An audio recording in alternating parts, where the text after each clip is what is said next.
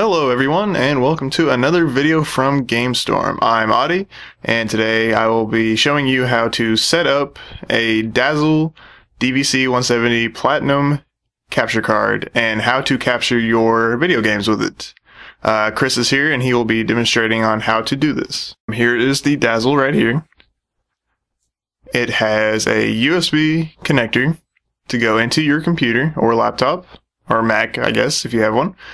Um, the connections on it are S-Video, the left and right audio, and the yellow video slot, which is a composite. The Dazzle does not record HD because it is a composite slash S-Video input.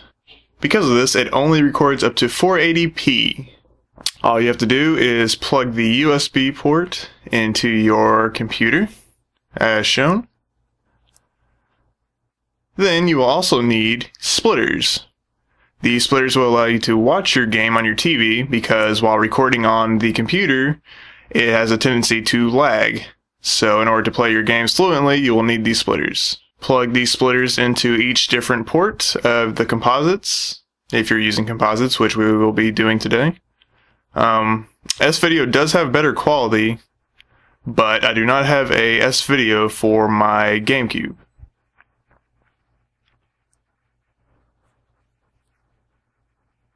Alright, and you will also need the composite cables from your gaming system. Here's the GameCube composite cable.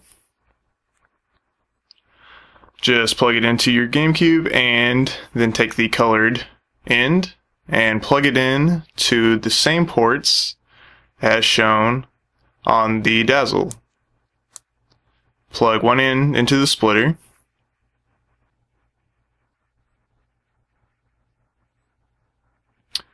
And then you also need a double composite cable with both ends.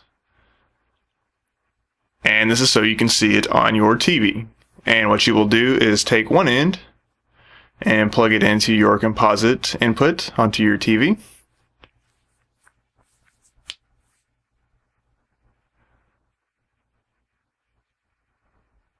Then take the other end and put it in the same colored area as your GameCube or composite cable that you're using.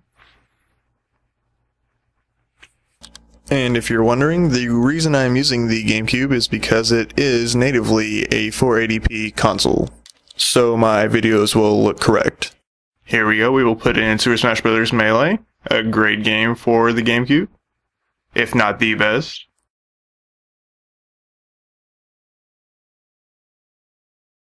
Turn on the console, and as you can see, it turns on to the TV, and you can see it perfectly. Now Chris here is going to move it around a little bit so you can see that it is working, and that the picture has not been distorted in any way. And there you have it. It is as simple as that.